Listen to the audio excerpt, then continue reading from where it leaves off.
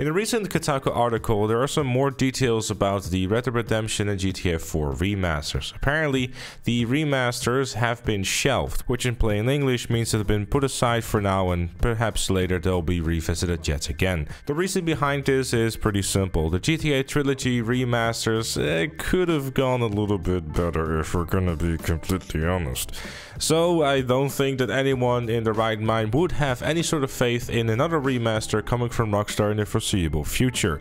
So for that reason, they're kind of put on the side for later. Obviously, Rockstar also doesn't seem to be having much time to even bother with it, considering the fact that sources have also told Kotaku that Rockstar is currently focused on GTA 6 and not the past, for now. To give you a quote from our favorite person on Twitter, TestFunds2, as per a reliable source with clear accuracy on Rockstar's plans, remasters of GTA 4 and Red Dead Redemption 1 were on the table a few years ago, but Rockstar chose not to proceed with the project in mind. The poor reception of the trilogy definitive edition might be the reason behind that decision.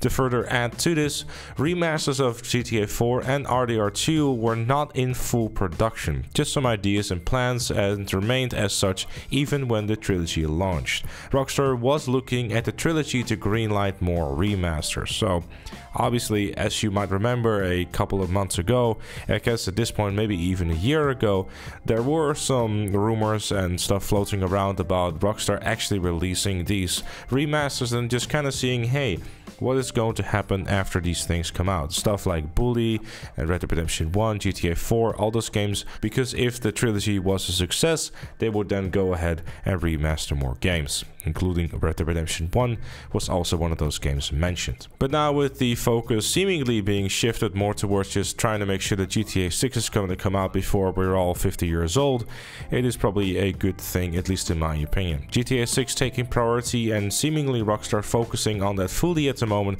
is definitely a very good thing. Obviously, we're still going to be getting GTA Online DLCs because why wouldn't be? They still have to make money somehow while they're working on GTA 6. Regardless, that is all the information I have for you today. Thank you also very much for watching. Leave a like if you enjoyed or found it useful. Subscribe for more. And if you really like what you see on the channel, make sure to become a member like Chloe and Robert. Thank you again for watching and I'll see you all later.